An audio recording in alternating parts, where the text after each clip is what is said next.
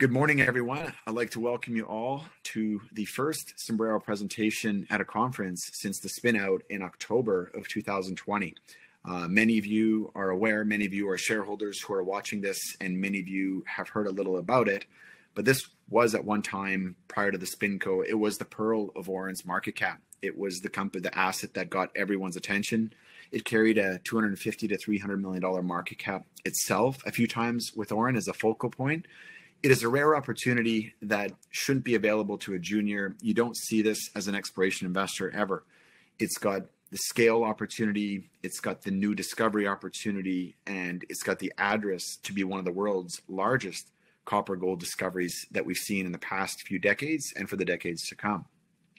My name is Ivan Bebek. I'm the president and CEO of this company, and I'm also the co founder, formerly the executive chairman of Auryn Resources, which led the spinning out of Sombrero Tier 1 Silver and the creation of Fury Gold Mines.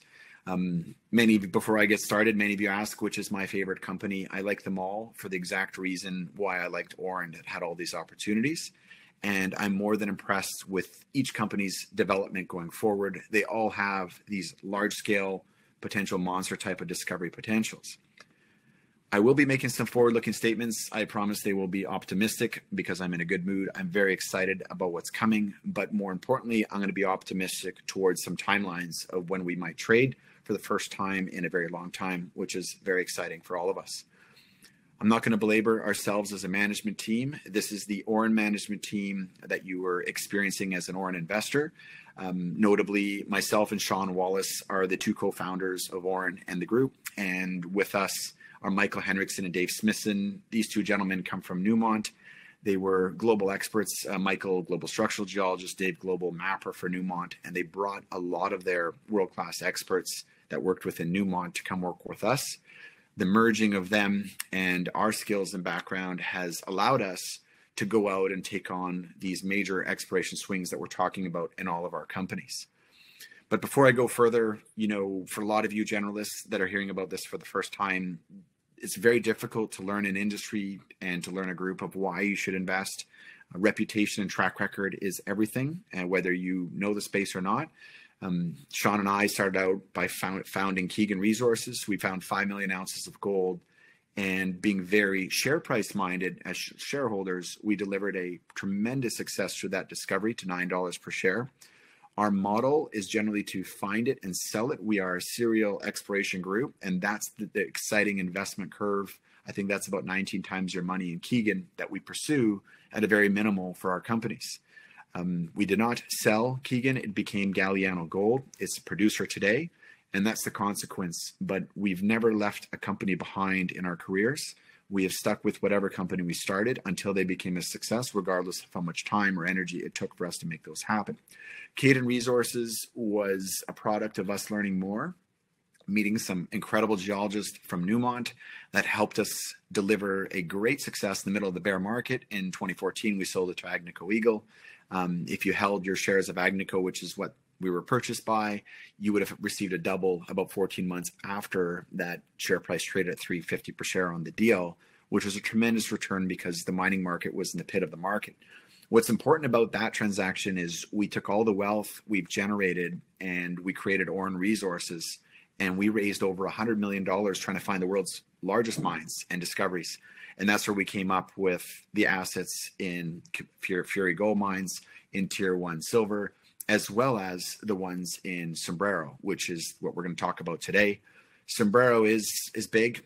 When you think about Sombrero, you have to think about really big. It does have a head start over the other two because there are some historical drill holes in the actual top of my screen where it says record of success. That is actually the core from one of the drill holes. Our technical team is led by Michael and Dave. Um, Dave is involved on Tier 1 Silver. He's living in Peru and him with uh, Christian Rios as a VP of operations. They're both in kind uh, running the operations day to day down in Peru, and it's being overseen by Michael Henriksen, our chief geologist. On our board and the head of our technical team is Antonio Arribas. He was the uh, former chief geologist of Newmont and VP of geological sciences for BHP, the largest, two largest mining companies in the world, one being gold and one being uh, base metal. This is a, very critical for the guidance of you know how we're going to drive forward on these discoveries and what they mean going forward. We're going to talk about copper here. The demand is outpacing supply. Any of you who are building a new house, buying a new computer, buying an electric car, we are running out of copper as a planet. The copper supply is is is largely in in a, in a very bad state, and a lot of people project, as you're seeing here, demand to double by 2050. You know, in terms of that kind of outlook on copper, it gives us a lot of comfort to go after world-class copper discoveries as we are doing here. It gives us a, an eternal bull market in front of us that's going to be consequential for premiums and how we trade. But we're also going to potentially end up providing some kind of supply help if we find something in the magnitude of a Las Bambas, as we're looking to do here with Sombrero.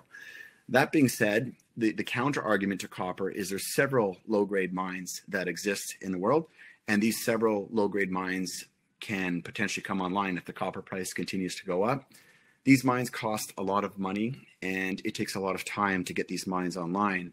Uh, example, if Sombrero is a discovery of consequence, it will take between 10 and 20 years for that mine to pour its first or create its first, produce its first tonnage of copper. That being said, the investment curve would be the most robust for Sombrero during the discovery, discovery phase, which is what we offer going forward. So here's where we are. We're in southern Peru. We're in Ayacucho. And just a quick comment on Peru before I get into the project. It's just recently gone through an election. Uh, Castillo, the, the, the new president, is, is one. He was the hardcore leftist of the two the good news about the election is there's an extreme left and extreme right, and the election was within 0.2 basis points. It was extremely close, which means that nothing can really change of consequence. Congress is divided but majority right. Uh, the president is majority left or is, is extreme left. And, you know, from that perspective, since I've been working in Peru, the president has changed five different times. And so the, the actual Peru landscape is one that changes if presidents aren't working out and it relies heavily on mining, which impacts approximately 40% of its GDP. And post COVID, uh, I'm not sure if everyone realizes this, but Peru is one of the hardest hit countries in the world. So post COVID, you know, there's a very big economic gap that needs to be filled. And what we're anticipating is more leniency towards mining and permitting and getting access. We think that things will improve versus go the other way. So we're really excited to be past the election. We're drilling in Peru with one of our projects. We're permitting. We're acquiring other assets. We do not have any real concern on Peru. The land package is quite large, 130,000 hectares. It's extremely under uh, explored, and it sits next to some of the largest mines in the world, which you'll see on this slide here. So why does this exist? Well, first of all, a series of major mines on the right-hand side of the slide here, Las Bambas in particular, which is the 10th largest copper mine in the world, um, Tintaya, which is a was an incredibly rich mine, Las Chancas, which is a substantial mine. These are some of the larger mines in Peru and larger mines globally. And if you look at the pink color, those are intrusions that have brought up the copper, copper, and gold that has occurred in these mines. The green color that you see on this slide, this is the color that's used for or described as for volcanics. A volcano erupted and a lot of the rocks were covered. What happened here in terms of Sombrero was a lot of the rocks were covered and there was a couple erosional windows that were exposed. And the government came through here before us, so did several major mining companies. And they overlooked this area and assumed that the rocks were Miocene, which would be the volcanic cover, not Eocene, which is the 40 million a, a year age rocks that we've aged dated, which is the same as all the mines next door. So this area was missed by several major mining companies we have been there and we took initiative early. We went out and we screened by sampling streams that, that would imply drainages off of some of the ridges you see here in the topography. We sampled for gold and copper to establish a, hot, a heat map of where a lot of copper and a lot of gold exist. Most of the work we've done to date is pointed out by the blue star right where my cursor is, area of work dated. And if you look at the actual whole entire land position, and you look at the image on the left, you're seeing copper. And if you look at the image on the right, you're seeing gold. Mancha Mackay has the most robust copper numbers to date, although we think we've got the analog to Las Bambas up here in Sombrero, Main, and the NEOC targets, which I'll talk about today. And, the, and in terms of gold, there's a nice gold overlay on the Machi area as well. But both of these these maps or these claims show that they're much stronger than where we're working. And my point there that I'm trying to make is we still don't know where the best target is in the land position. The community access agreements we're waiting for will give us access to Machi Makai. It will start getting trenched right away. It will go in the pipeline of drilling alongside Neok and Sombrero Main, which are going to be first. If we're going to talk about a large mine, we're going to look to see how accessible is this? You know, what kind of infrastructure? And there's going to be a lot of ore to be produced or a lot of tonnage to be moved here. And what we have is, is a blessing. We have paved roads right into the project. We have high tensile power lines. The government built this high tensile power line right through our property since we've been here, which is incredible. We joke that we could plug in an extension cord for power, which generally is the biggest challenge. There is access to water and as well. We're about 3,900 meters elevation, so we're not too high in the Andes where it would be too cumbersome. And several mines are operating at this level and above in Peru. So a massive check mark there on infrastructure and potential profitability. The analogous geology. Now, this is important. This is more of a scientific slide, and I'll keep it as simple as I can for the benefit of everyone here. The mines such as Las Bambas, Tintaya, all those big mines next door, they occur in the Ferrobamba. That's the blue limestone unit that you see above there. What you're seeing here in pink is an intrusion coming up, and you're seeing the exact same contact of rocks there as we're seeing within our targets. This is the Ferrobamba limestone here. There is a difference though. We have a second limestone unit called the Gramadal, which occupies the closest mine to our project called Anticapaya Las Chancas. So we have another unit, host unit of limestone that could actually deliver additional discoveries. So we would argue from a very speculative early stage, this could deliver a lot more than what you've seen on the belt next door because it has two very important horizons, two very important reactionary limestone units that could potentially interact and give us that copper gold deposit we're looking for. And lastly, when you sample the surface, we have an 18 by 6 kilometer footprint of geochemical signature, which implies that this area has a robust formation of metals underneath all of this green volcanic cover. It's the pathfinder we were looking for, and it gives us a chance to kind of arm wave ourselves towards scale, which is substantial. The magnetic anomaly now, when you're looking for these large copper gold systems, copper in particular, you want to see a big magnetic signature. Um, you see a substantial one here uh, with the most richest or the strongest signal coming off of Neok.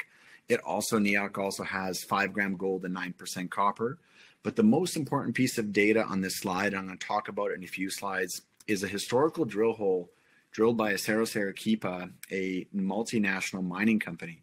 This company was looking for, it's a steel company, it was looking for steel for iron ore. And they drilled a hole that had 116 meters of 0.58% copper, another one with 90 meters of 0.5% copper gold equivalent.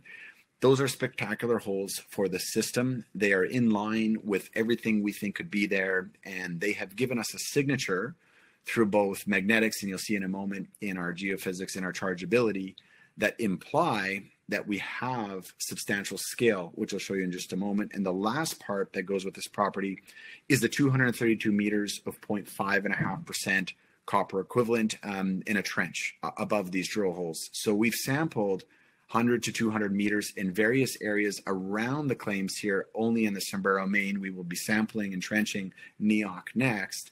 And we've seen the grade, potential economic ore grade right on surface we see it in a window on that drill hole in the edge of the system, which gives us a lot of confidence that this will continue. So when you actually look at the magnetics here on the right and you look at the chargeability on the left, you want these two to overlap and this will define your target areas where you could have copper gold mineralization. If you look on the image on the right or left, you see a 10 kilometer shape, it's very strong signal that goes around, and that makes up the first two areas we're going to drill. This is where we've been waiting for access to drill in the near term. Historically, the drill hole I mentioned is right here where the 116 meters of 0.58 occurs. It gave us a signature for all of this target area as well as here that we can actually use as a fingerprint to see where else there might be that potential grade of copper and gold.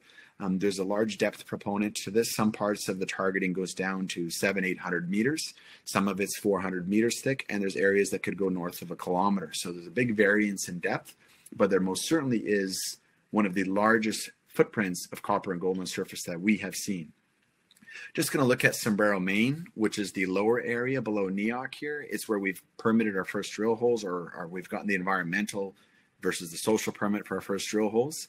This is a, an intrusion, our property up here in the upper left corner, surrounded by exoskarn in red and endoskarn in yellow. And this is forming what would look like a donut. And if you look at the mine on the belt next door, we're just showing you that it's exactly what they have. Copper skarn around an intrusive. We're not trying to find something different in terms of a geological model. We're just trying to find something that is the same and the same caliber and scale, which you're seeing here. And lo and behold, it ended up being a huge hole in the ground for that. That's the Tintaya mine that was once operated by BHP, now operated by Glencore, but was an extremely profitable mine. This is a close up of that donut look for us. And these are actually our planned drill holes that you see in the black circles with the, with the lines. Um, you do see a big porphyry target coming into it here that ta taps into those historical drill holes. We see that with the core at Fieraso and the signatures technically. So the first area that we've actually achieved what's called the DIA to give us the environmental permit access to drill here um, is, is already ready to go and no further work needs to be done. And this is the drill plan that would occur. Specifically, you look at things like surface 109 meters of 0.7% copper. That would be in the exoskarn. And then you see stuff such as 105 meters of 0.3 closer on the endoskarn. You're going to have a variance of grade. But if you take the 4,000 samples that we've collected in this area to date, we're averaging 0.6% copper gold, with about 0.5 of that or 0.48 of that being copper and the rest of that being gold, which is identical to the same grade as Las Bambas, which is 1.5 billion tons of 0.6%. So, core, there is a few drill holes here, and in comparison to other things I'm involved in, this one has the head start that I've mentioned earlier. Uh, the top core you're seeing is, is the most important rock that we've seen from the project. This is drilled in the sulfide, and we're seeing exoskarn mineralization with chalcopyrite. Um, the signal that I showed you earlier with the magnetics and the chargeability could have been mistaken for water or clay. And where it came to for us was we wanted to see whether it was water or clay or potentially chalcopyrite, which is copper pyrite, and obviously at 62 meters above a percent copper and half a gram gold. So that was the biggest check mark that we got on this asset to give us the confidence that that fingerprinting signature for 10 kilometers was absolutely real.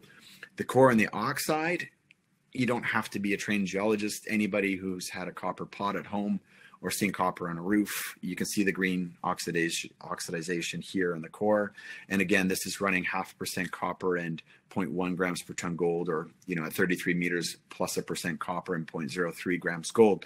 This is as close as you're going to get to a heads up that this could be, or a hint that this could be that major discovery. This is an important slide. It's a lot more important than everybody realizes because I believe the first community access will be on this target and then the second one will follow sequentially in Huancasancos the second community. Um, this is the most robust surface expression we've seen in terms of grade. We have not trenched this yet. We will be trenching where you see the multi-gram and multi-percent copper. That will be the first news flow to come out of our company once we begin trading as we wait for drill permits that should follow you know in the six the months afterwards not years but months afterwards we think it'll be anywhere from three to four or six months to get drill permits on both of the areas finalized. So something to look very forward to. It will make the system a lot bigger by surface work. We will have sombrero main which i showed you where drill holes are planned and then we will have neark online. And where we're really curious do the trenches here average 1% copper, 2% copper, or 0.6, 0.7 like the other areas of Sombrero, Main? It looks like a bit of a jewelry box in terms of grade endowment. And if you remember the slides previously, is some of our strongest magnetic and chargeability signatures on the project. This is the third place we will drill. This is in the San Jose de Huacaya community, and it would follow the suit of the other two access points. It's about seven kilometers from the two first areas we will drill, and it gives us the first look at the third dimension of what could exist subsurface. In terms of that, there's a massive skarn body. It goes down 400 meters and incredible grades on surface.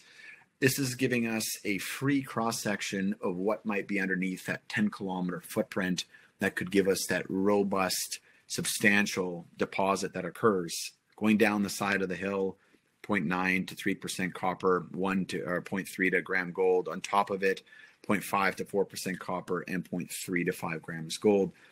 I think there's going to be some substantial high grade opportunities to the system.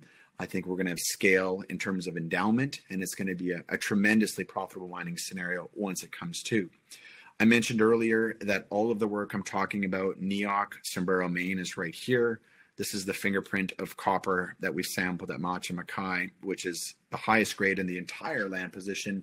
This will come and we'll have access to trench here as well when we resume trading, and we'll get a chance to get targets here in the pipeline. So likely we're drilling Neok and Sombrero main first, and then Machi would be would be in the background the same time as we likely get to Good Lucky the Cliff that I've just shown you. Sombrero's next steps. Now it gets interesting for all of you who are shareholders who are waiting for us to come public. Um, the next steps are, are, are critical. Um, we need community access before we can relist, and we are close. We took a long term approach. You've heard me say this a few times recently to get the really substantial relationships that we want, not just to get access to drill so we can list, but we think we have something here that could go into the scale of Las Bombas.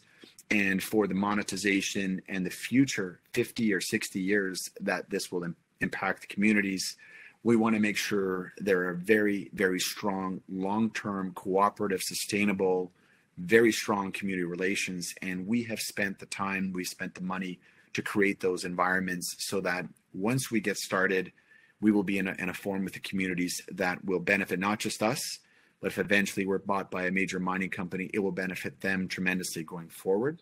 We've done more than the average company does in to get here.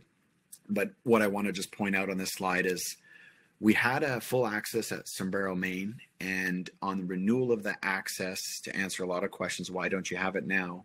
The presidents of the community changed. The community elected a different president, so we did not receive our renewal from the community. It's on pause.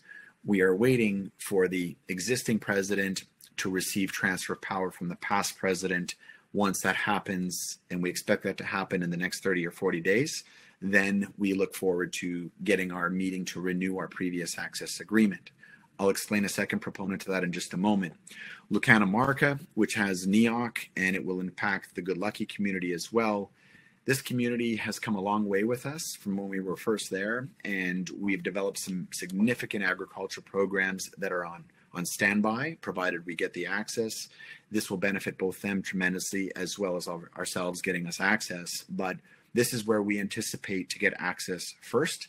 Uh, in the next 30 to 40 days. There's a meeting coming up in July and another meeting in August. I'm not going to be specific on dates, but we would hope to have access here by the end of August so that we could apply for relisting and list sometime in September. Um, we've done a great job with the TSX exchange. It's the exchange we prefer to list on. There's no guarantee we will list there first, but it's one that we've targeted should we get access and raise some capital, we would meet all the requirements to list there.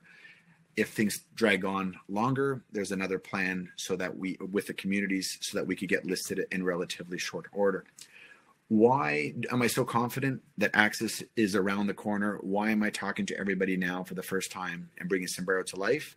It has to do with what we've done and what we're going to do. Um, so far, we've invested what seems like a modest amount of $100,000 but we've brought in almost $500,000 from the government through these Agroideas agriculture programs that are being put on. So far, we've funded with the government Australian lamb breeding programs, a weaving program.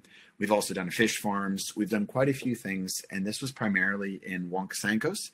And what we're working towards now is a multi million dollar impact about a million and a half at Huancasancos continuation of this program with new things that we're going to bring in there on the agricultural basis, and about a $2.4 million program for Lucana Marca. These are substantial efforts. They take a considerable amount of time for us to go to get the government grants. We sponsor them. We are heavily involved in creating these programs. They cannot happen without us because we are the sponsors that validate that these programs are going to be done properly and efficiently. And we've demonstrated through the first community programs that we've already done this. The jobs that we're talking about that go with these agric- agricultural programs will impact nearly half the residents of each community. So extremely positive long-term effects, and that's what's going to be, you know, in front of us going forward. So we think that our presence there, these large programs, they're on, on they're about to be put in motion, and that would happen in conjunction with our access agreements going forward. And I think that's a reason for all of us to be optimistic making the discovery is one thing, but having this kind of impact, it's more year two or year three that you'd get to this level. But getting to there now will secure a community relationship from the beginning that's going to be extremely sustainable, long-term positive impact, and and we feel that the community absolutely recognizes our presence. There is some politics between the communities, as I mentioned, a transfer of presidents, a transfer of power that do not involve us. So we have to wait until those communities are sorted.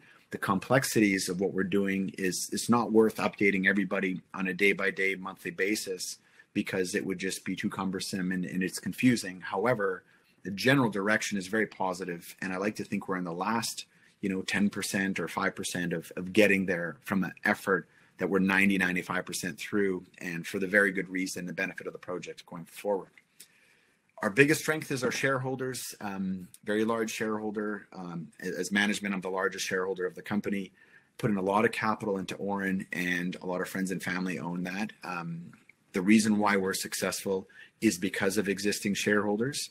We are very shareholder minded, and if you own shares of Auryn, you received one share of Tier One, you got one full share of Sombrero, you got 0.676 shares of Fury Gold Mines that split still has yet to fully monetize the outcome, but that's a very shareholder minded event. Um, it took on a level of work in terms of finding new people, in terms of branding new assets. It really pushed my workday from about 12 to 14 hours to about 18 hours a day. However, it's in the best interest of the shareholders and it can monetize all of us substantially going forward. This is a big swing, Sombrero, and we're looking for incredibly huge assets as we are with the other companies. And it's required a lot of patience, and time is, is, is certainly an ingredient and a cost that you have to pay for these kind of opportunities. The good news is we're at the end of that timeline of waiting, and we're almost at the point of where we're going to find out where things are going to happen next. Now, as I talk about, sorry, I'll mention one more thing. Financing, we have $5 million in the treasury. That's obviously not enough to drill, and it will take us into Q1 of next year by virtue of burn rate. Um, we will need to raise money, and we have a few options here, which is a great thing to say when you're looking to raise capital. We could do a funding, much like Tier 1 did prior to listing. Um, no shortage of demand for people to invest into here if you have an interest to participate and you're an existing shareholder or you want to become a shareholder, my email is ivan at sombreroresources.com. It would be best for you to be directly contacting myself. The other opportunity is that we've gotten substantial attention from about five different major mining companies around the world. And Newmont Goldcorp is an existing shareholder. We are open to investments by strategic investors that might end up being the end purchasers of this company. Um, we've negotiated and had discussions with quite a few. If we're able to achieve a strategic investment that is done at a, a great valuation that could benefit shareholders with that validation of the corporate investor, as well as a path forward to potentially a monetizing relationship, and would give the company working capital not to need to raise any more capital that would be a preferred route, provided the terms and the prices were something we were comfortable with. So if that does not prevail, we will look to do a funding with shareholders or investors prior to going to market. And uh, we won't know the answer to that question probably up until the end of August. That's where we'll start to get some clarity.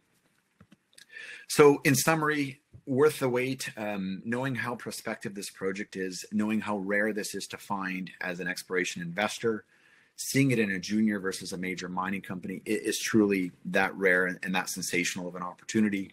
The copper market has gone from $2 and change per share to over $4 per share since we've been on this journey, which is the one copper lining, I say, to, to the actual weight. The commodity price is going up, demand is going up. So we have a lot better chance to perform at a much larger premium than we would have previously. The analogous features and the historical drill hole reduce the risk of expiration considerably and give us a world class shot at something substantial. And lastly, we are near the finish line. There is no guarantee, though, that my optimism or our optimism is going to transpire into agreements and trading in September or October of this year. So being very ambitious, being very driven, and being the CEO of an unlisted company, you know, with an, an, a huge ambition to be listed and to be trading and to go on this adventure publicly and provide liquidity for those that want to join or those that need liquidity, we have identified another significant asset that would rival Sombrero in potential interest. Extremely low cost up front, but same reward at the end. We are working towards possibly acquiring this only for the reason that if Sombrero takes on more delays that we can't control, we will have something as exciting as Sombrero to look forward to in the background. And second point, to go after this asset, why would we do it? One of our directors commented, if Sombrero is so good, Ivan, why would you get a second asset? Greed comes into that. We've been hunting for five years with Auryn for these big assets, and we found something that meets the Sombrero threshold of excitement. And if we could sell the company twice or for a lot more, assuming successful, we'd like to offer that opportunity to shareholders. So, in summary, look forward to resolution with the communities, something consequential by the end of August. You will start to hear podcasts. I will be more informative, more communicative, as there's now a lot of things happening to talk about. Look forward to a potential acquisition that may arise that may give us that secondary asset that in case Sombrero takes longer, we get back to market and we have something of same caliber to go after and drill and deliver for shareholders. And thirdly, I'd say that you want to have insurance, but if you can find the right assets and have these major assets and do it in a capital efficient manner and you can deliver it twice or multiple times to shareholders, that's really the, the end goal of what we're trying to achieve here.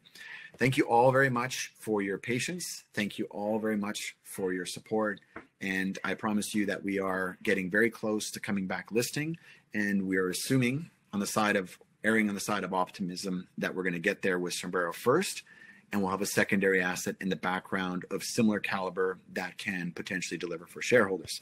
With that being said, I'm going to stop sharing my screen and I'm going to go back to any questions that anybody has about my presentation.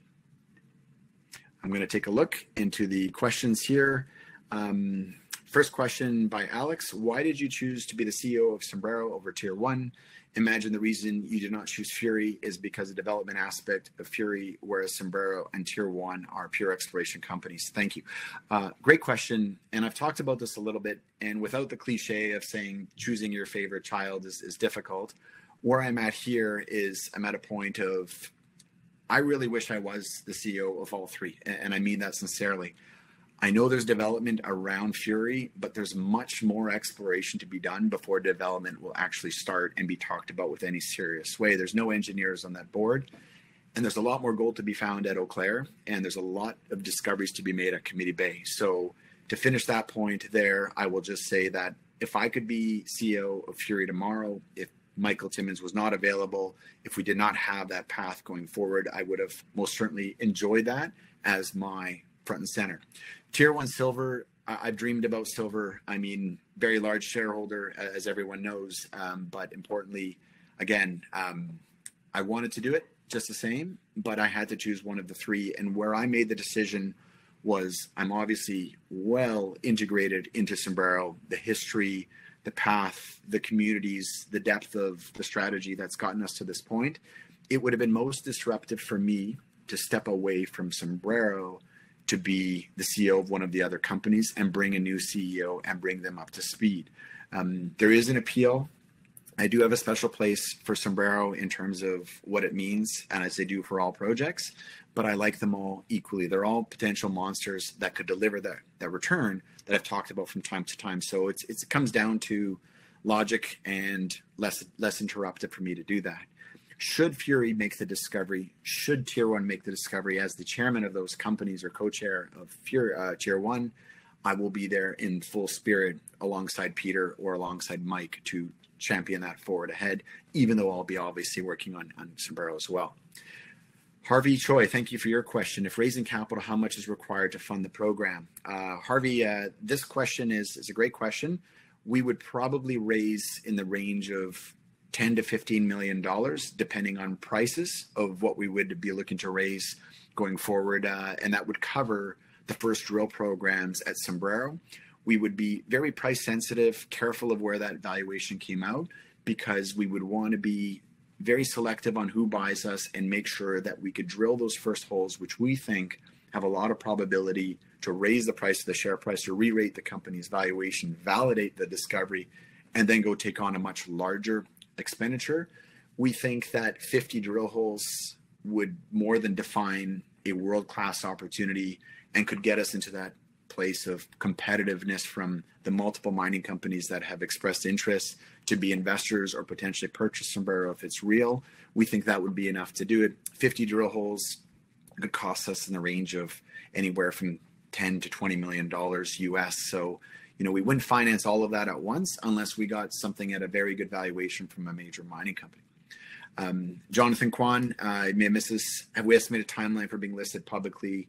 I'm going to do everything I can. We are going to do everything we can to be listed at the latest in October. Um, if we can shorten that timeline, we will. Right now, the biggest contingent factor is the access to the communities, which we're hoping to resolve in one of the communities in August. Should that take place, it shouldn't take long, four to five weeks for us to get listed. And we have been preparing to be listed for some time. And I'd argue that we could have been listed in Q1 easily, ahead of tier one, even had we had access. But unfortunately, um, we don't have access yet. There's a second asset we will acquire should Sombrero drag on that could get us listed sooner and give us an equal opportunity to go and explore at the same time. Harvey, uh, his question in discussions with majors, how serious are the discussions? Would an agreement be expected this year or next year? Um, without speaking out of turn, Harvey, um, we've had discussions for three years with Sombrero with a handful of majors. And all I will say is those discussions are, are quite mature and the ambition towards working together is quite high. So it's all relative, you know, but it, those discussions are, are most certainly real. Um, if we can't come to terms with a strategic investor with a major mining company on a deal that worked for both sides, we will come to market and do the raise. And the decision point there is probably end of August at the latest, the first week or two of September. So stand by for that. Any other questions that anybody has? And, and I sincerely apologize for my little guy interrupting me uh, during. Uh, I don't think he realized I was live on a Zoom call and uh, trying to balance family and work. But uh, I, I, thank you all for listening today. My email is ivan at sombreroresources.com. I want to offer direct contact to me if you want to have a call or an email for anybody who's frustrated waiting, excited and waiting, or would like to know more. Thank you all very much for being patient investors and all of you who have not owned us yet. Uh, we're looking forward to an extremely exciting launch once we get towards listing. Thank you very much, everyone. Hope you have a great day. Thank you.